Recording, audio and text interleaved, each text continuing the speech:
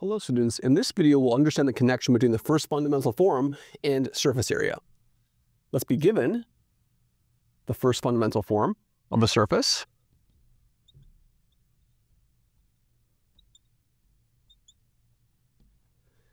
That will be E du squared plus 2f du dv plus g dv squared we claim, we have the following theorem, proposition, the surface area, which we define to be the double integral over the parameterization region of r u cross r v du dv, is equal to well, I want to write this in terms of the first fundamental form. So let's figure out, let's do derivation, figure out how we figure that out, right? So we're going to use this vector identity. So recall we have this vector identity that the length of A cross B squared is equal to the length of A squared, the length of B squared minus A dot B, A dot B quantity squared. And this just follows from like the fact that this is the length of A, length of B, and then times the cosine of theta, and then I can pull the length of A, length of B out. I get 1 minus cosine squared theta, which is sine squared theta, which we have over here, right? So in particular, what we can do is we can apply this to our identity over here. So this implies that RU cross RV is going to be what? Is going to be, I'll square it, is going to be RU, is going to be the R vector, the norm RU, like this, the norm RV like this, and then minus RU dot RV quantity squared, like so. Now, what are these things in terms of the first and second fundamental forms, right? Well, this thing is exactly just what? That's RU dot RU. So this is exactly just going to be E, right?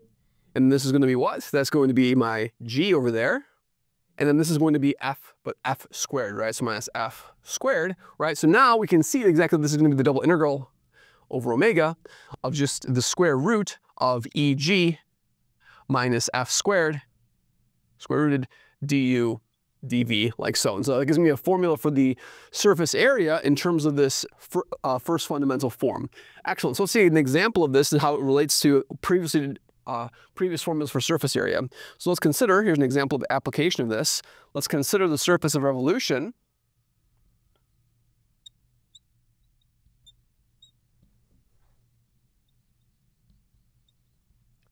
sigma of u and v. I'm just going to rotate a function f around the z equals f equals sine v, and then I'm going to put a u over here, right? So that says that what we really have over here is we're rotating the function. If, if z is my u, then this uh, that's an f of z, right? So I have f, I'm, I'm rotating the function, uh, um, I'm rotating the function this function f of z around the z-axis, right? And so, of course, what's going to happen over here, so let's do it. And so when my range of my rotating variables is v over here, so v goes between 0 and 2 pi, and then u goes between a and b. Like so. Great. And so that's a rotation, it's a surface of revolution. And so what do we do? So let's compute the first fundamental form of this thing. So all I have to do is just do this calculation over here. So let's compute the first fundamental form. So what's my sigma u going to be? My sigma u is going to be f prime of u cosine v, f prime of u sine v, and then a 1 over here. What's my sigma v going to be? My sigma v is going to be f of u and then sine of u with a negative sign, negative over there.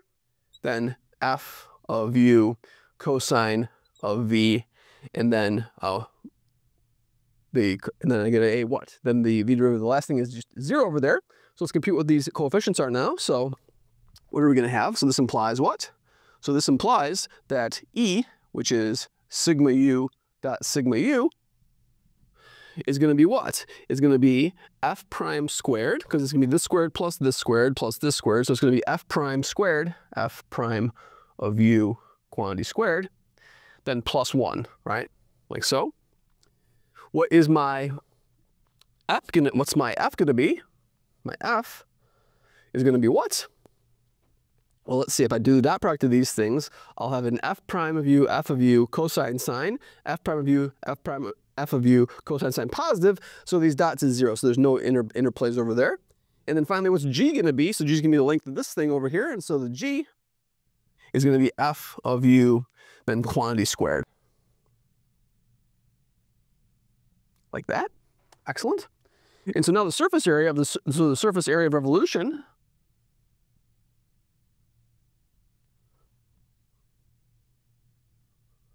of a function f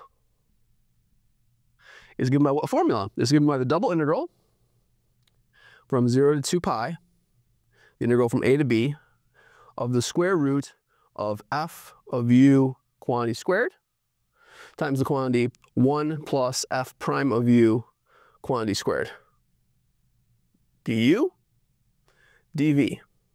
And so what this is going to reduce to is it's going to reduce to the standard formula, right? It's going to reduce to my formula, which is going to be what? There's no v's to integrate, so it's going to 2 pi integral from a to b, and then we'll have an f of u square root of 1 plus f prime of u squared du and that's our standard, of course I'm assuming the f is not negative, you're taking any absolute values over here, but that gives me my the standard formula we see in Calc 2 for the surface area of revolution when I rotate a function f around an axis over here. So this gives us our surface area formula. And of course, this formula for surface area generalizes not only surface of revolution, but all sorts of different surfaces that are not necessarily surface of revolution, but this gives us a very nice derivation of the surface area formula that we've seen in Calc 2. Thank you very much.